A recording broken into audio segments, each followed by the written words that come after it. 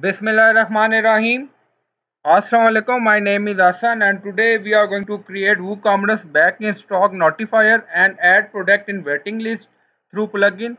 Before starting work, it's my request. Please subscribe my channel. Thank you. Now back to our work. So we are in WordPress dashboard. On left side you see plugin. So click on add new. So we are going to install plugin. And in search plugin write YITH WooCommerce waiting list so this is plugin we will use. So click on install now. And then click on activate it. So plugin is activated now. On left side you see YITH hover on it. Then you see waiting list. So click on it. So general options are open. Here you see in setting. Enable waiting list. Yes. Notification message notify me when item is back in stock so you can add your custom message also. Also add button label add to waiting list remove button label leave waiting list and successful registration message. So you have been added to the waiting list for this product. And then click on save option. And then on top you see in stock email setting tab. So click on it So now you see enable disable email notification. So already enable.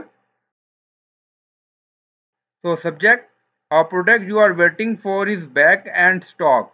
So you can change subject. Also you see email adding. So you can add your adding also. So this is default adding and subject text, email type and this is message.